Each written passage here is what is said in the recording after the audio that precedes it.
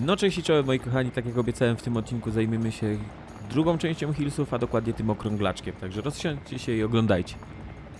Pamiętaj o zostawieniu łapki w górę, jeśli Ci się podobał ten materiał, jeśli nie, no to oczywiście łapka w dół, komentarz, co byś chciał zobaczyć w następnym odcinku, co byś chciał poprawić, co, co mógłbym poprawić, no i oczywiście subskrypcja, zapraszam do oglądania. Tutaj pokażę Wam jak dostać się na dach tej stacji benzynowej, nie używając drabiny, co oczywiście nie oświadczy naszym oponentom o tym, że wchodzimy na górę. Z tego dachu też możemy się dostać tam na ten mały daszek.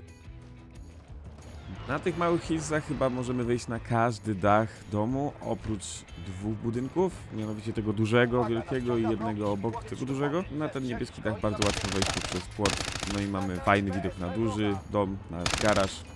Z kolei wchodząc na ten domek z czerwonym daszkiem, mamy sowitą osłonę, jeśli chcemy się z kimś postrzelać, kto akurat właśnie kampi gdzieś na hillsach albo gdzieś tam przebiega. No zobaczcie, jaki piękny widok na całe hillsy. Tylko pamiętajcie, że jak już zaczniecie się strzelać z tego miejsca, to macie plecy trochę odsłonięte.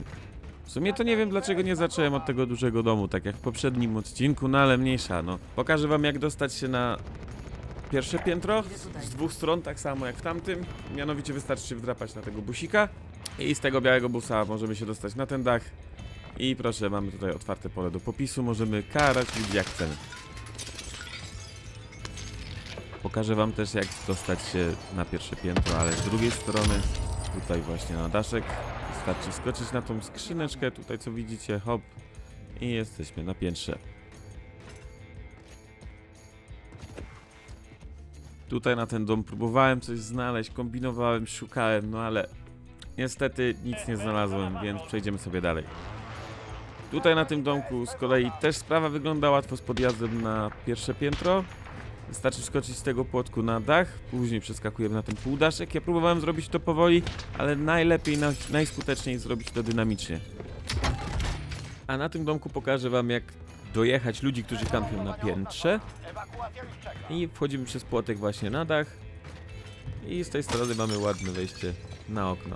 Oczywiście możemy też zrobić to z drugiej strony, tylko że z drugiej strony oponenci będą nas widzieć jak się wspinamy i mogą nas zestrzelić. No właśnie na tym płotku. Możemy tutaj wskoczyć, hop i jesteśmy. No tylko, że wtedy jesteśmy bardzo widoczni. No i ostatni domek, na którym możecie spotkać jakichś kamperów, no to właśnie tutaj.